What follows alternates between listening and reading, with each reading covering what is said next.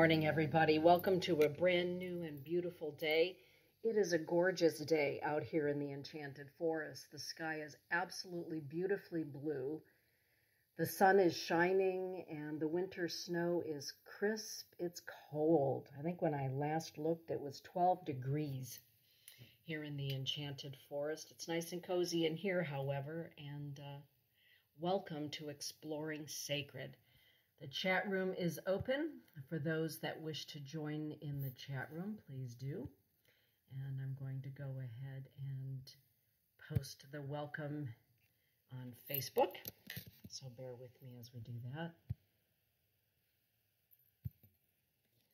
Okay.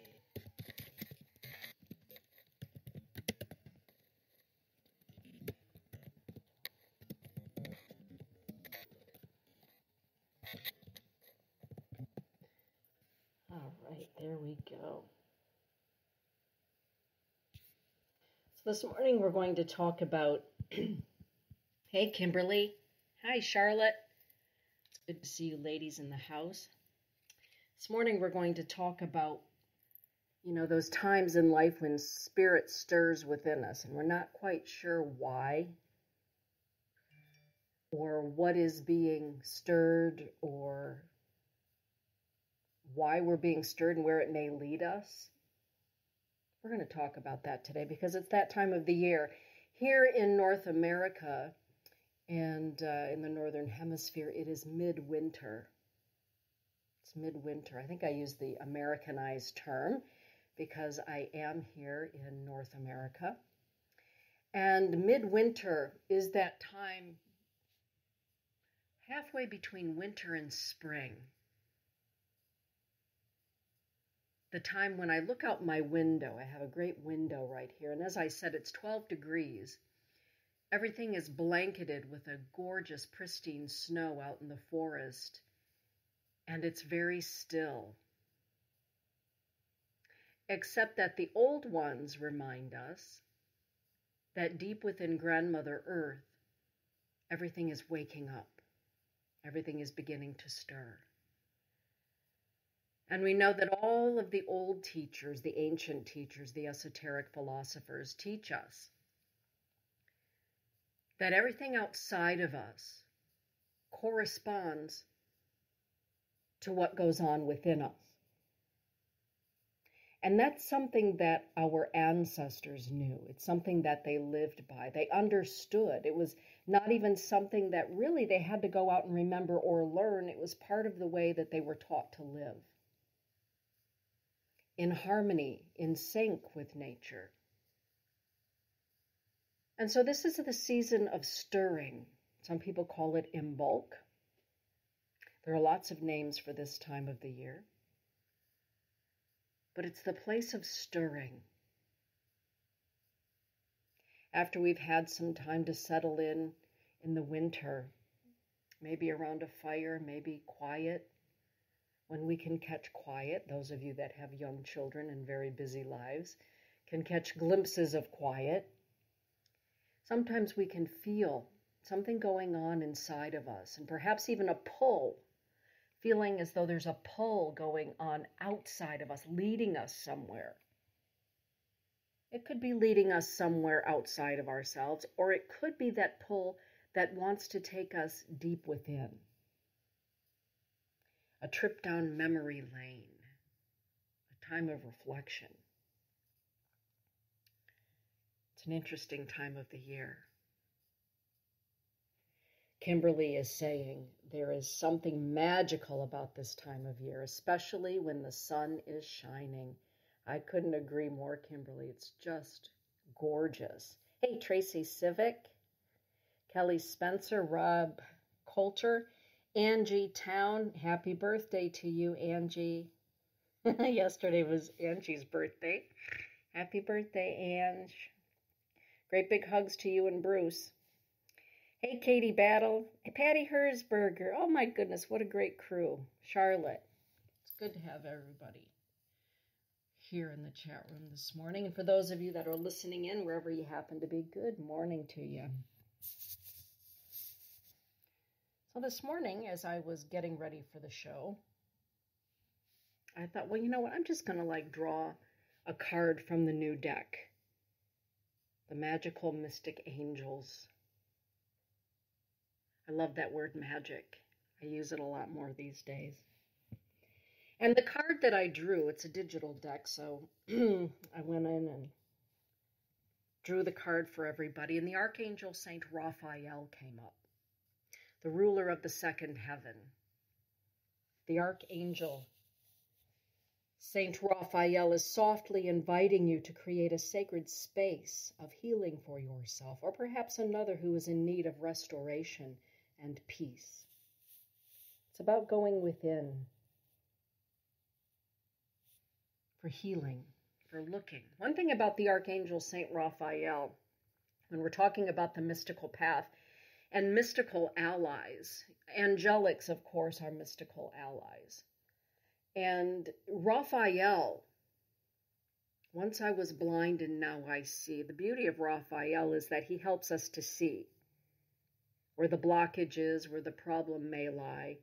And the problem with Raphael is that he helps us to see where the blockage may be or the problem may lie. Right? Once I was blind and now I see.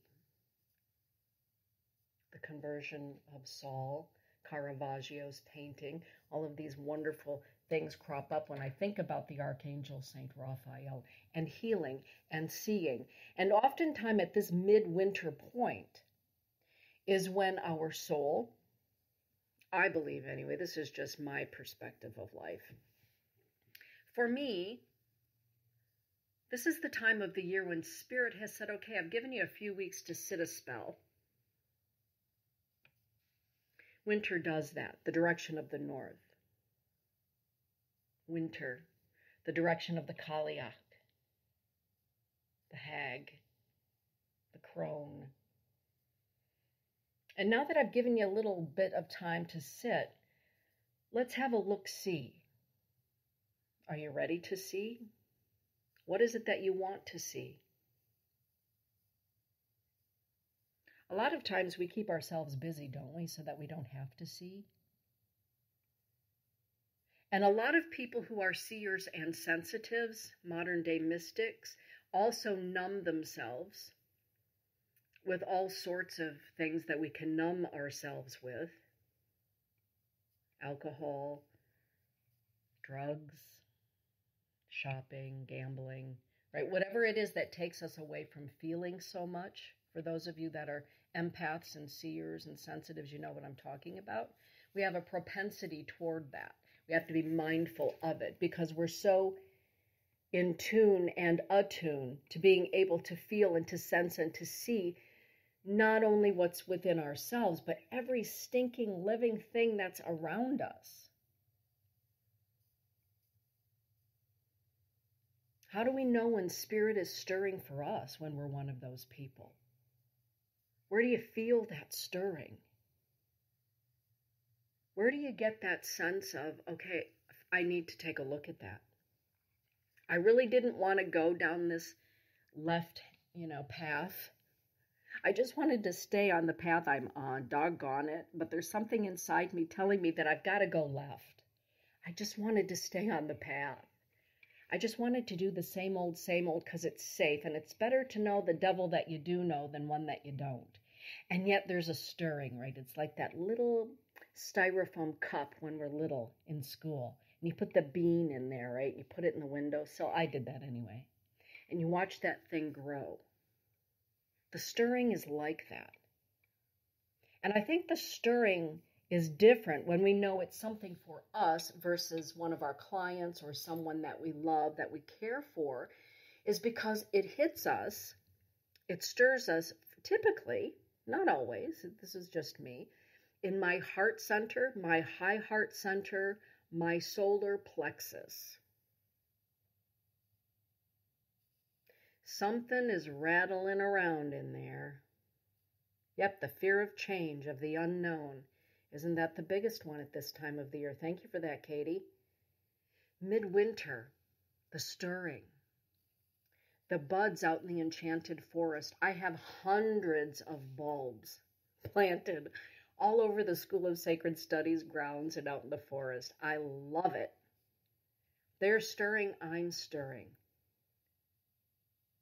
And I feel it in my heart chakra, my high heart, my solar plexus. And oftentimes, the stirring, when we want to pay attention to it and not numb ourselves to it, I think the numbing has a lot to do with trying to keep out everybody else's stuff or trying to keep out spirit. I do believe that that can be the case for many, right? We uh, have a tendency to want to block out all of that excess energy from everybody else's stuff or the stuff that spirit is made of. And so what happens is that we can numb ourselves to the degree that we can't even really feel our own stirring on the inside. And so the stirring then becomes what some affectionately call the cosmic two by four because we're numb to the stirring. So it has to come in the big, you know, crack of lightning.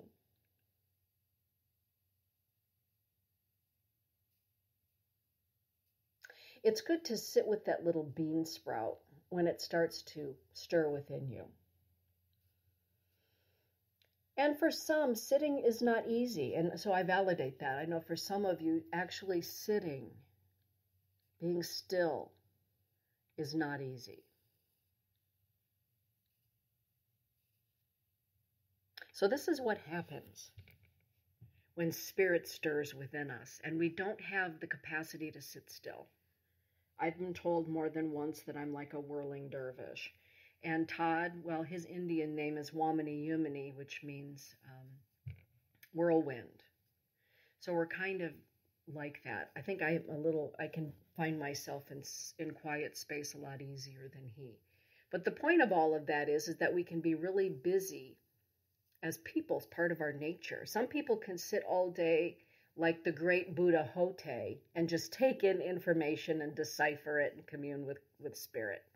I'm not one of those. So, if you're not one of those either, if you're not one of those either, the dream time becomes really enchanted, active, perhaps overactive. Spirit will speak to us in the quiet moments. Spirit likes to speak to me while I'm doing dishes or folding laundry, when I'm dusting the house, dusting and polishing off the furniture. People will say to me, You know, your house is like a museum. It's like you live in a museum. Because I, I collect a lot of artifacts, as many of you know. Can't how do you stand dusting all of that stuff? Well, my answer to that is one of my greatest meditations is a good old can of pledge and an old fashioned baby diaper. Baby diapers, the old cloth kind. Baby diapers and a can of pledge are like sacred ceremony for me to have a really good and long meditation and think about.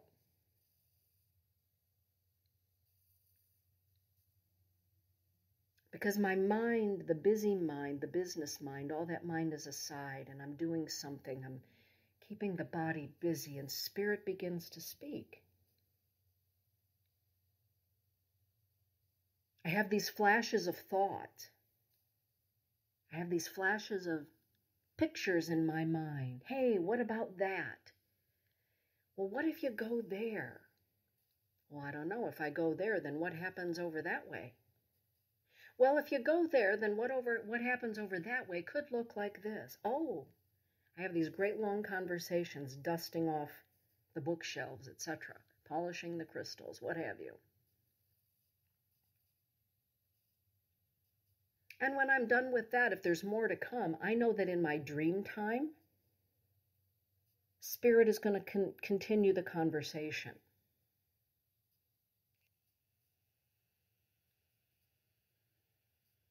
It always amazes me the way that spirit will let us know with a gentle stirring, the cosmic thwack, a bolt of lightning, And if we're not getting it, we're not getting the message, the chatter continues on relentlessly. I'm not one of those people that can continue to live with the chatter relentlessly. Some people can, you know, 30 years ago I thought about that. You know, for 30 years, Spirit's been telling me I need to. I think that usually has to do with the fear of change. Um, I don't believe that we're meant to stay in one place spiritually, emotionally, mentally. For me, I believe that we, we've come here to do some excavation, to have some adventure, to explore, to test the limits of what we were taught as children. That's a good one, to test those limits. In comes Dominic, just in time to torment Gabriel. Hey, Sonia. Hey, Tara. Carla Jo. Father Joe Fix. I heard it said by Father Joe Fix if you're not growing, you're not learning. Love Father Joe. Yeah, Father Joe is the bee's knees. I'm telling you, I love Father Joe Fix. I'm just going to let Dominic in to save us all the trouble. Hello, Dom.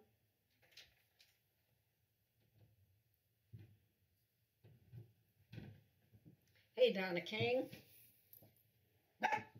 Okay, Gabe.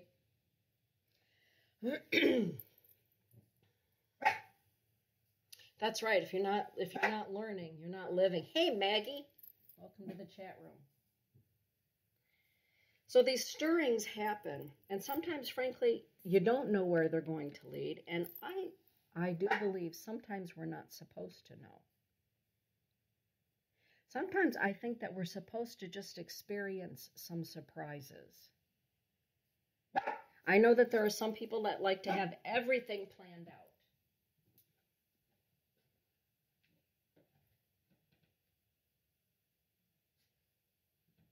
I'm not one of those people.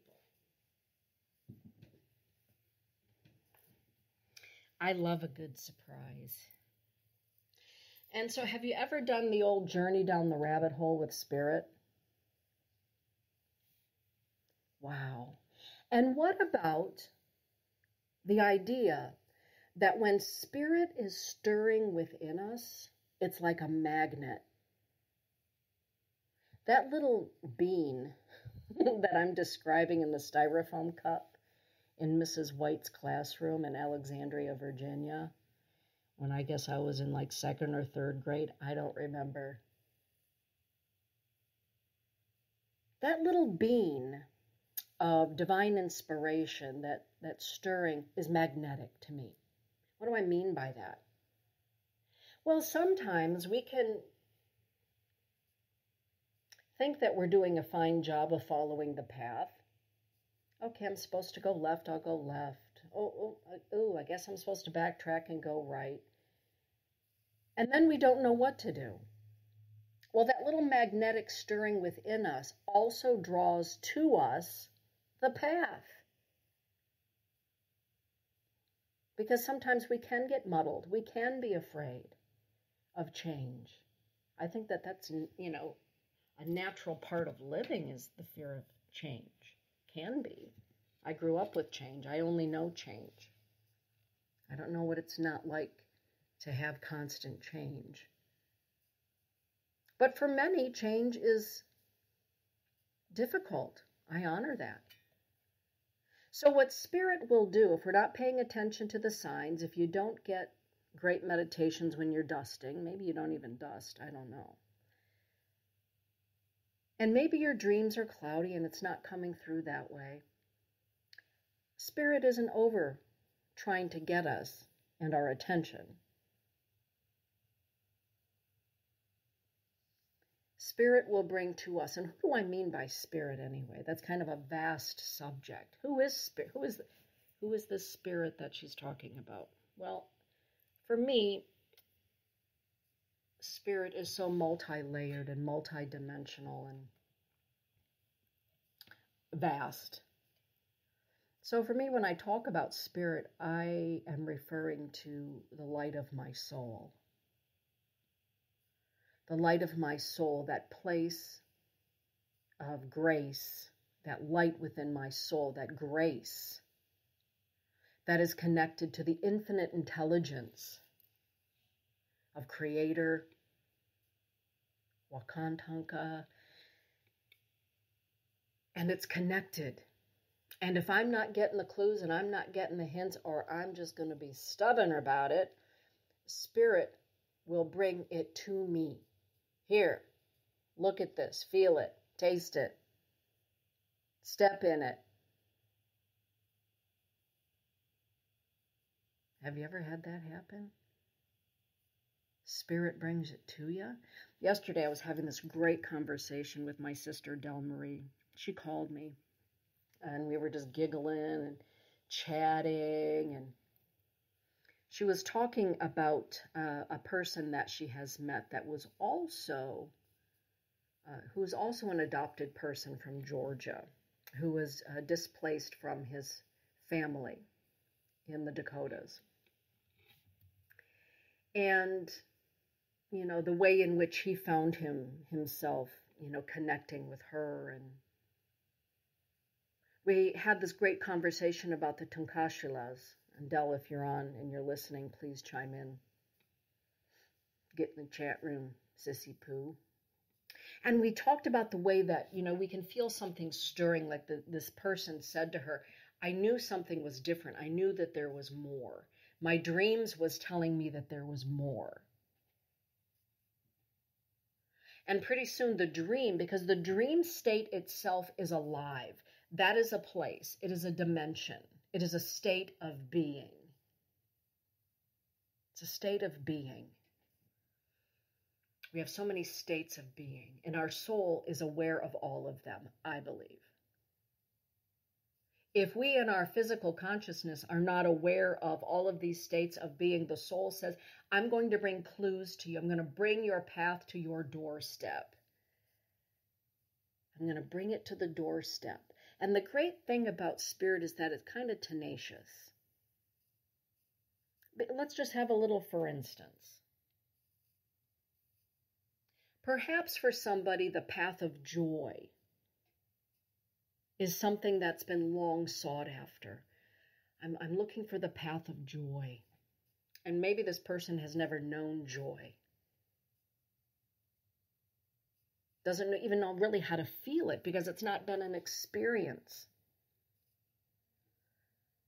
But there's a longing, a search, a quest for joy.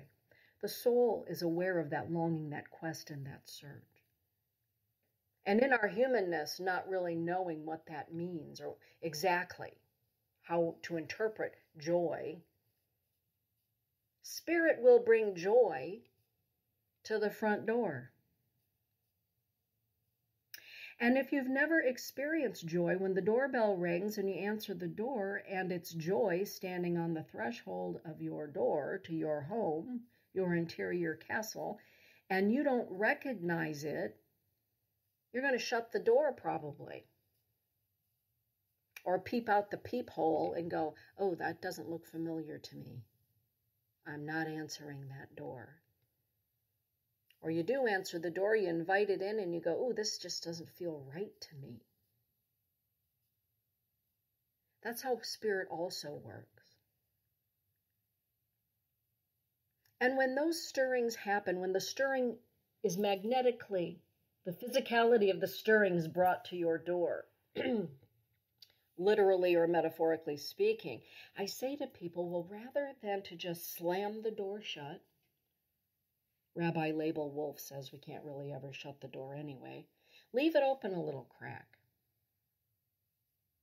Bring it in by increments, bits and pieces. Let it flow gently. I think joy is at my door, and um, I've never experienced joy. Therefore, I'm going to let it in, but I'm going to ask that it come into my interior castle. It, join me on the path in a way that's gentle. that's meant for me.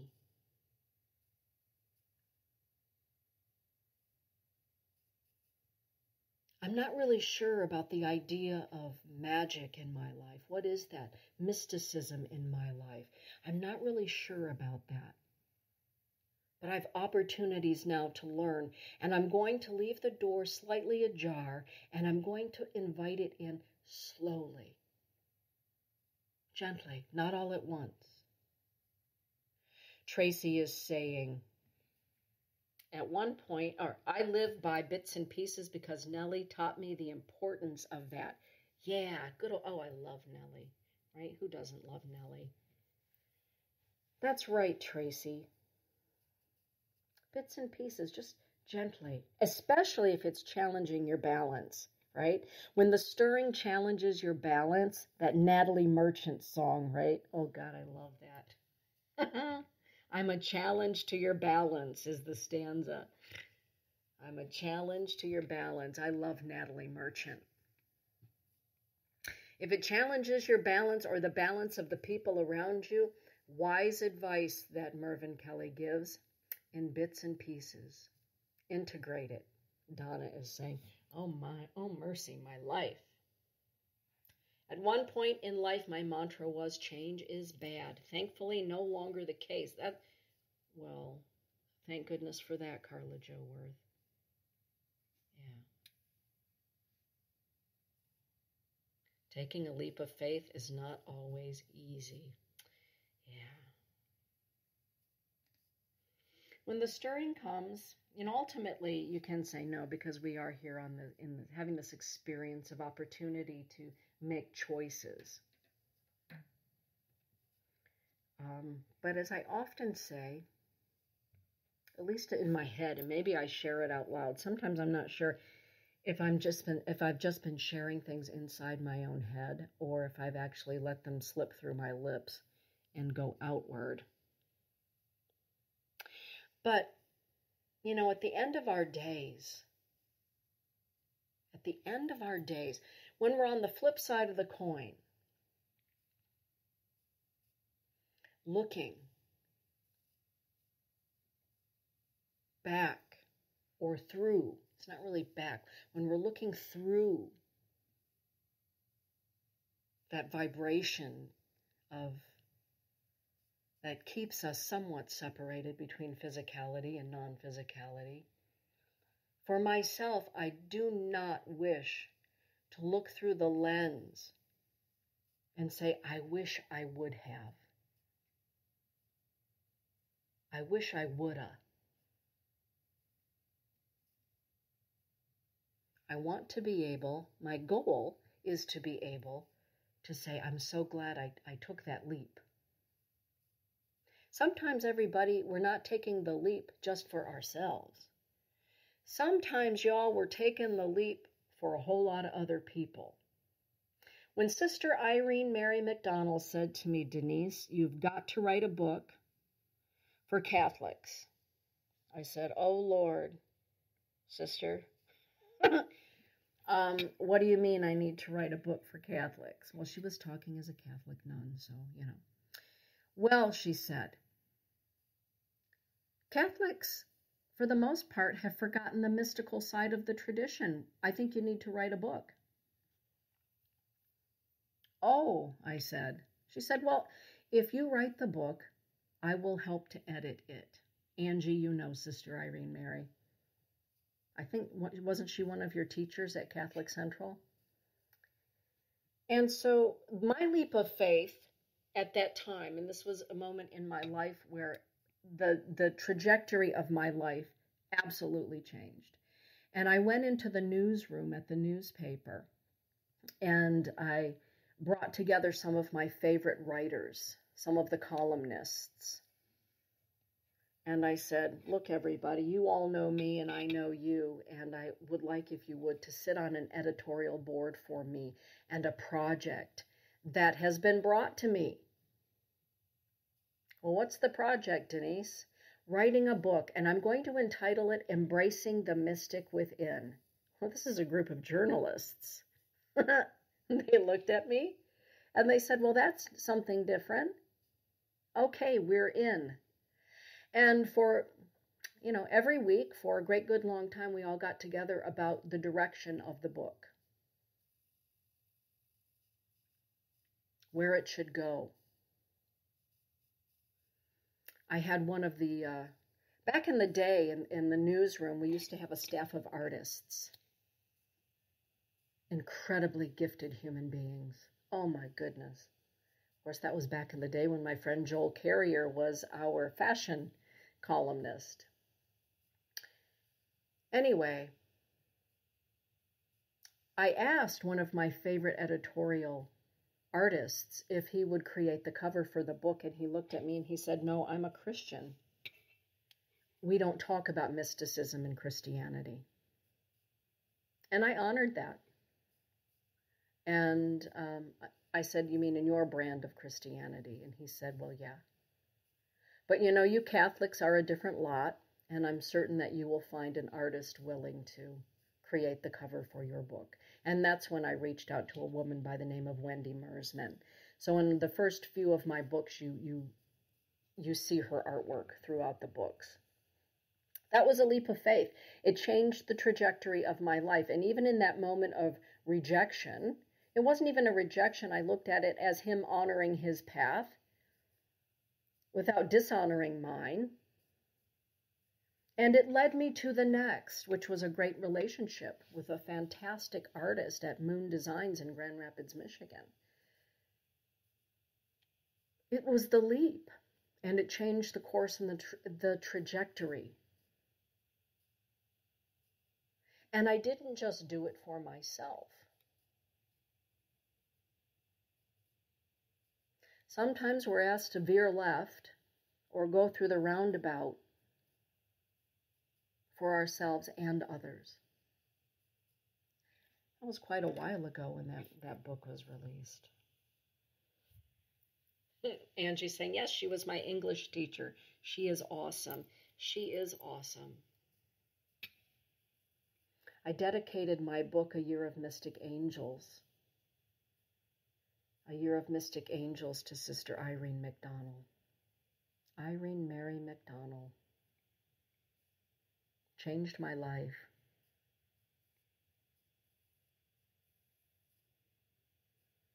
It's amazing that when the stirring is magnetized, the people that show up in our lives, it is astonishing.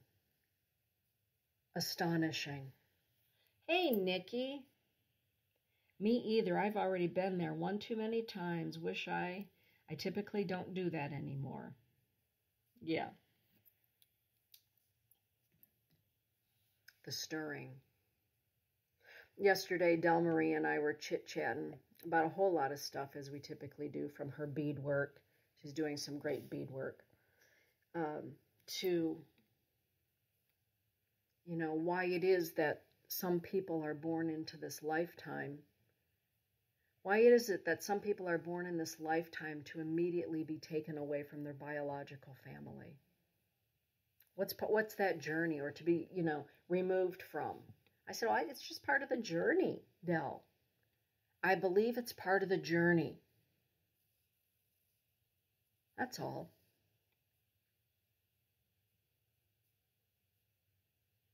Part of the journey. And why? Why do any of those things happen for any of us? I mean, we've all lived extraordinary lives, each and every one of us. And what was it within us that made us decide to do this rather than that, or this and that? And what was it within us that made us finally decide and execute the hard choices, the difficult ones? Boy, there's a stirring that's not easy, is it? When you know you have a difficult choice to make, and not only make the choice, but to execute it, oy vey. Woo! Lordy.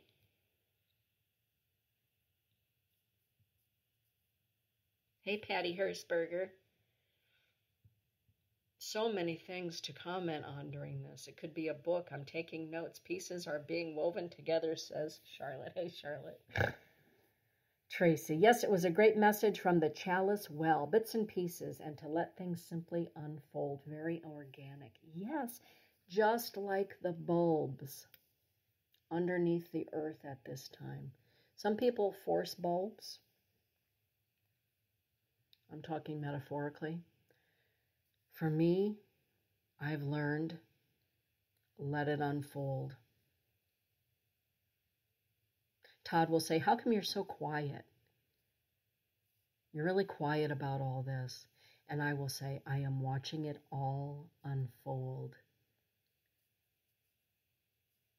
I'm observing, contemplating, watching it all unfold. Or I'm watching it all fall apart to be consciously and awake and aware to how it can all be pieced back together again. Or maybe not all of the pieces. Sometimes the stirring leads to the falling apart the tower. We've all had the tower experience. Poof, there goes the house of cards. Crap. And I'm not a person who runs around like a chicken with my head cut off over things. The Sarge taught me that. He was so good in emergency situations, right? He'd get rattled about other stuff, but great in an emergency. I'm one of those people that when the tower comes a visiting, the tower crumbles, I watch. And I also think that comes with age, quite frankly. Really. And, you know, it is true that in my lifetime, the net has always appeared from the minute I was born. It's always appeared.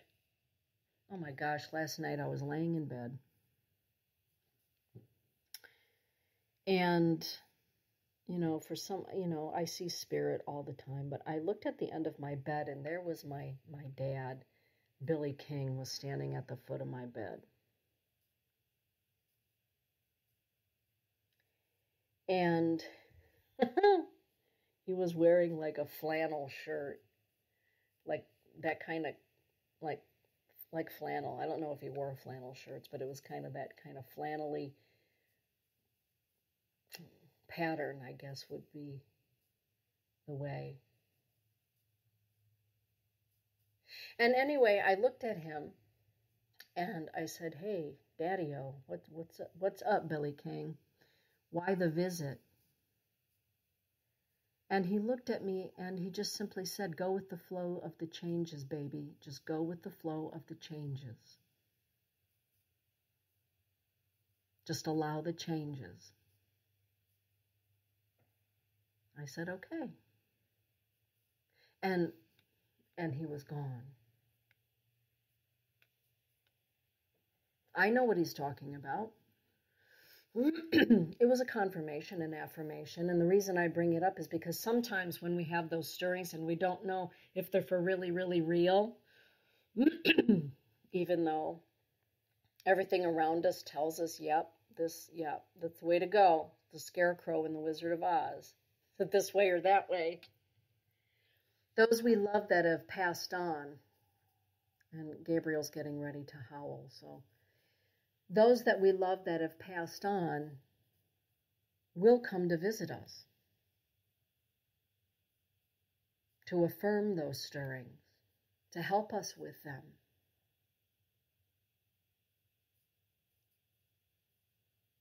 To help get us through. They'll come to us in our dreams. They'll come to us in our daydreams, our imaginings. Or, just like my daddy Billy King, he was there last night standing at the foot of the bed. Now, Todd can't see spirit the way that I do, so it's not really an intrusion for him. so the conversation was very personal.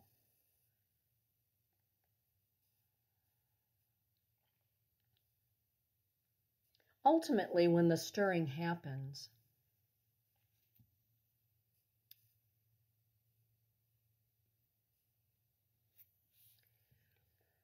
Here's what I say to myself Dana, what's the worst thing that could happen? What's the worst thing that could happen? Now, my good friend Darlene has always accused me of being one of those people that's really not afraid of much and will take a leap into just about anything. She is a Taurus, so she's more measured, like Todd. They're more measured about things. I am Scorpio, Scorpio, Scorpio, so we just go, okay, let's dive in. Now, I'm not going to dive in the shallow end. I'm not like that. But yeah, come on, Tara, let's go to Egypt. Tara, let's go to Egypt and you and I will be roomies. Right? And Tara's like, okay. So Tara and I were roomies in Egypt. All right, yeah, let's do that. Okay, what's the worst thing that could happen? That's how I kind of have learned to balance the stirring. Let me have a look. a message from St. Gabriel awaiting the Annunciation. A crazy quilt instead of a nine square, yeah. Donna saying, Wish I could do that. Tend to make a fuss at what I perceive to be maybe a negative thing at the time. Oh, yeah, that's just part of our human nature, isn't it? Tara's saying, I'm ready. Tara and I have traveled around the world together. Well, Nikki and I have traveled around the world together, too. Tara, Nikki, and I have traveled around the world together, as a matter of fact. Well, and Maggie and I have traveled to Ireland together. Oh, that's the gypsy soul. Donna, you know what I'm talking about there.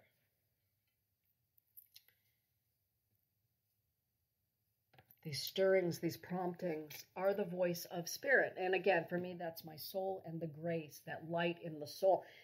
It's the light of grace. The light of grace. And I don't want to miss out on any cool stuff. And again, at the end of my days, I want to be able to look back and go, holy crap, I did go to Egypt. Not everybody wants to go to Egypt. So this is, you know, me speaking for me. I had to go once, I had to go twice. I know I'll be back again. Holy smokes. Did I really do that? You've got to be kidding me. Alrighty then at the end of this life, I want to go home with a capital H, full of this life, contributing to it, not being a bystander, but being a contributor to it in some way.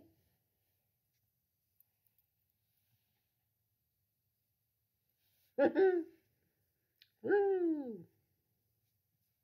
And I know you all feel the same way. But this is the season for that. That's the reason for today's show. This is the season for that. Midwinter in America. I, oh, another person I had a great conversation with yesterday was Catherine Skaggs, the artist.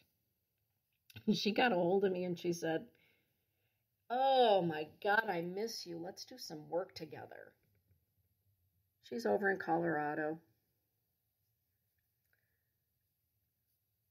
she's got a great book coming out and she you know wanted wondered if i would have a look at the manuscript and you know give her my thoughts about it and thumbs up or thumbs down and we got to talking about putting ourselves out there and then we got to talking about putting ourselves out there in the uncomfortable places And then we got to talking about why it is we meet people.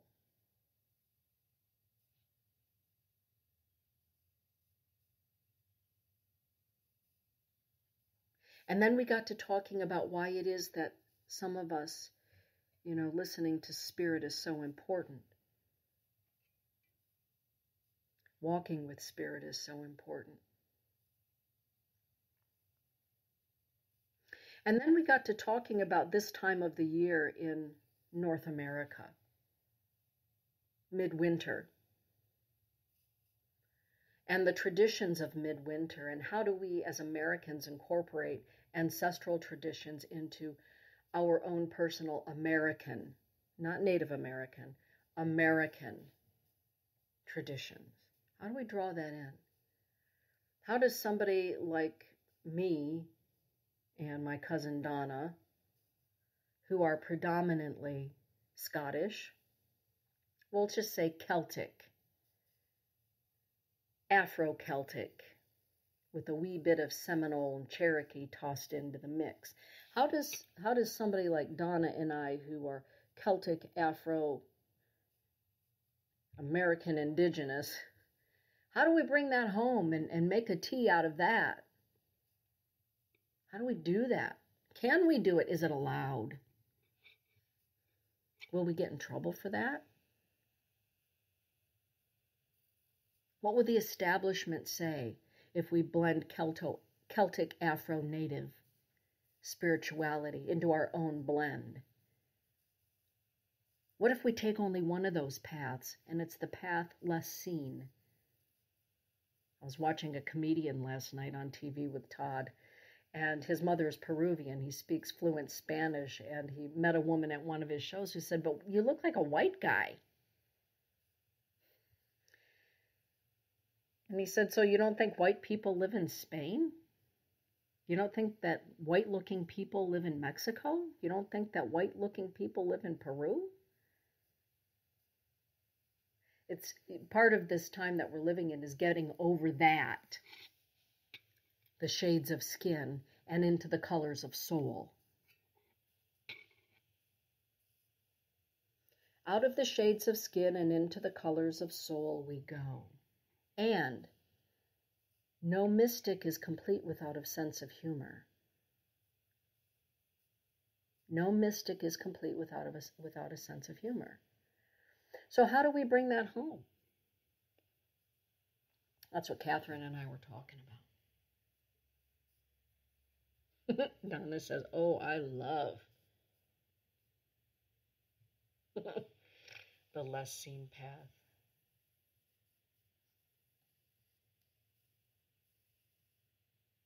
Yeah. Rob the dog doth magnify the Lord. Yeah, he's something, um, that Gabriel. He's looking at me. Whenever an ambulance goes by, I trained him when he was a puppy that when an ambulance goes by, we pray for those that are driving the ambulance and for those that they're going to see. And that we ask the angels of light and healing and the light of the beloved to be with them, to keep them safe, etc., etc. And so I say that, and I invited him to howl. So whenever an ambulance goes by, that is Gabriel's form of prayer, is to howl while I say silently my prayer. So, yes. So there we have it, everybody. It's the season of stirring. Pay attention to your dreams, your daydreams, your nocturnal dreams. Pay attention to who it is that shows up at your front door. Who is it that's going to come a calling? Pay attention, discern. You don't have to chew it in one great big bite. Small bites, increments that are suitable for you, to your path, that are amenable to your soul. And remember to give gratitude. Even the light of grace likes a great big thank you every so often, or a little thank you.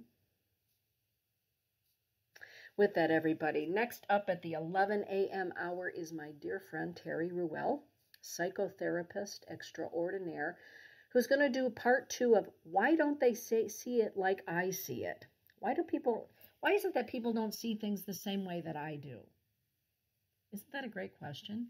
I think that that's probably, if you're here in the United States, or maybe around the world, you're thinking, what is going on in the United States? And we all have our thoughts and opinions about that. And sometimes we wonder, what's the matter with that person? They don't see it like I do. I've got to be right. right? Well, the Sarge used to have a saying about opinions, but that's not for today. With that, everybody, have a great, beautiful day. And up next is Terry Ruel. Blessings be everybody. Get out there and shine as only you can shine.